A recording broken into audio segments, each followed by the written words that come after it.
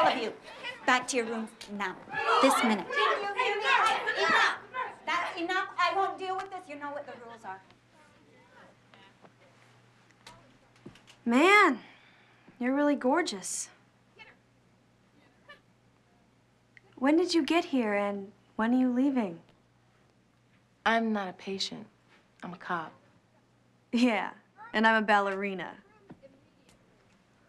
Three demerits. Four for you. Look, have you seen this guy? Yeah, Where? Where is he?